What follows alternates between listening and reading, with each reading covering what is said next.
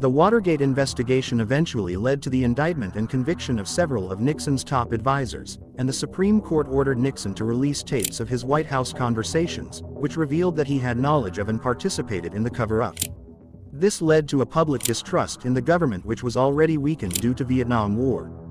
Faced with the prospect of impeachment by the House of Representatives and removal from office by the Senate, Nixon resigned from the presidency on August 8, 1974. I shall resign the presidency effective at noon tomorrow.